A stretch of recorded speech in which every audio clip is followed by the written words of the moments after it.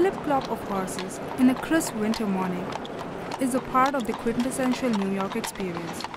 Horse carriages have been an integral part of the 843-acre Central Park for nearly its entire 150-year existence.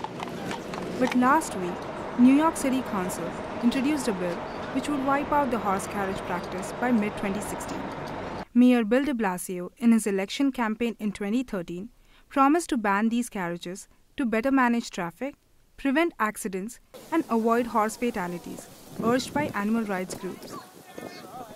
Carriage Right, owners well- have come out and rallied well- against the ban. Our horses le- uh, have 144 pages of regulations to protect them. We've only had three horse fatalities in over 31 years, which dogs, cats, everything else is killed in the city left, right, and center at a much more alarming rate. And uh, i it's nothing to do about the safety of the horses. They are not the only affected party.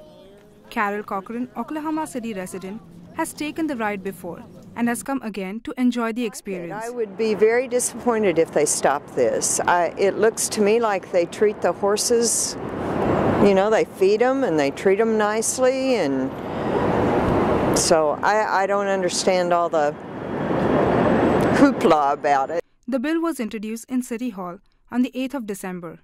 It plans to replace the carriages with vintage electric cars. The whole thing is a scam.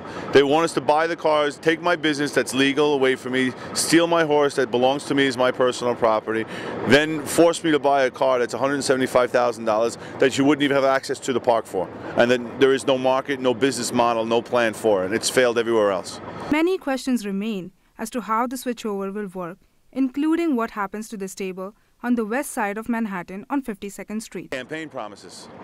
Campaign promises to real estate moguls that want to steal our st- stables from us.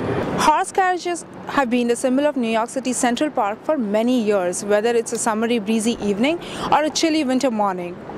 The horse carriage owners are trying their best to stop this from happening. But we will have to wait and see if this bill will ever be passed and it will ever change the face of New York City's Central Park.